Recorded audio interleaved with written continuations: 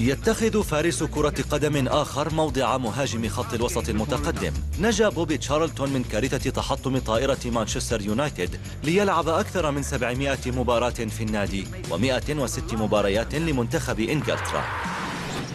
حتى من خط الوسط سجل رقما قياسيا صمد طويلا ب 49 هدفا لمنتخب إنجلترا إلى أن حطمه واين روني.